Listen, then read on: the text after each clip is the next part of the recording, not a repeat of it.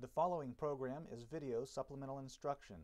VSI is brought to you by the Teaching Center, UF's Learning Support Center, www.teachingcenter.ufl.edu.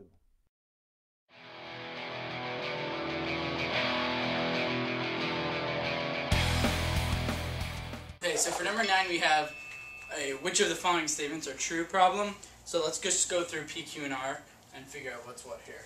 So for P, we have that inverse sine or arc sine of sine of 3, 3 pi over 5 is equal to 3 pi over 5. So knowing whether this is true or false just boils down to whether you remembered the rules for the inverse trig functions. Remember that the range of arc sine and arc tangent has to be from negative pi over 2 to pi over 2. 3 pi over 5 is outside the range of arc sine. The arc sine of anything could never be 3 pi over 5. So this one is false. The reason being is that 3 pi over 5 is not the reference angle. That's in the second quadrant, so its reference angle would actually be 2 pi over 5, and that's what the answer would be. Alright, for Q, cosine of arc cosine of square root of 2 equals square root of 2. Okay, so let's take this one and see what happens here. So remember that the range of your cosine function and your sine function for that matter are negative 1 to 1. Like when you do the cosine of anything, you could only get something between negative 1 and 1. Which means the domain of arc cosine and arc sine are negative 1 to 1. You could only plug in things between negative 1 and 1 to arc cosine. Square root of 2 is bigger than 1. So you can't do arc cosine of root 2 because the, uh, if you're doing the arc cosine of anything, it has to be in between negative 1 and 1. So this one is again false.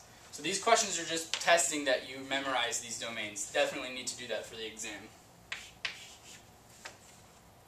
Okay, and R.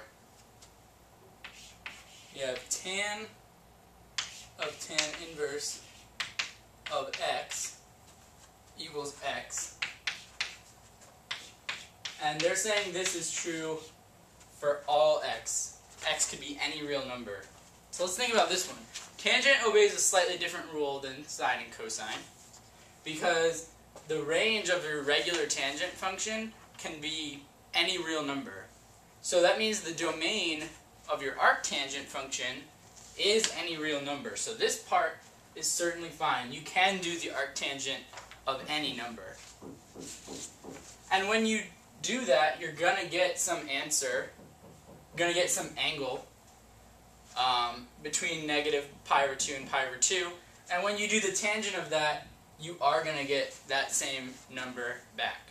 So this is absolutely true. So the do domain and range things for tangent are different than for sine and cosine, and you need to remember all of them for questions just like this on the exam. The Teaching Center, UF's Learning Support Center, www.teachingcenter.ufl.edu.